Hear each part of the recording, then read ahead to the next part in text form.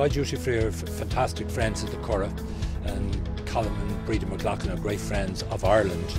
I mean, they obviously sponsored the Dubai Duty Free Irish Derby and next week they're sponsoring the Dubai Duty Free Irish Open. So they're major sponsors of two of the biggest sporting events in every in Ireland each year and we're so grateful to them uh, for that sponsorship. And you know what? They got the race they deserve today.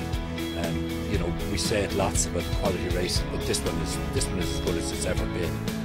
It's actually the 14th Dubai Duty Free Irish Derby that we've been involved with, with the title sponsor, and we've been involved with the Curragh for 20 years, believe it or not. So uh, we weren't here last year because of the situation, but uh, luckily we're here this year in person. Things are getting back to normal. I know it's been a tough lockdown in Ireland, and um, so people are ready, ready for this, this sense of normalcy. Yeah, fantastic.